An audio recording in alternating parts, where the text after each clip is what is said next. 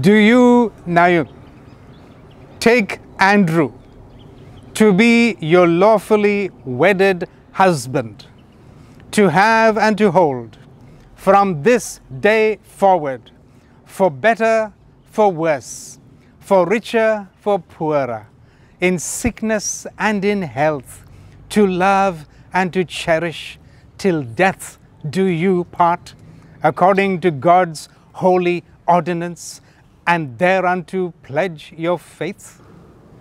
I do. Okay. Can I, at this point, ask Percy Fisher, the ring bearer, to come forward, please? Percy! Percy!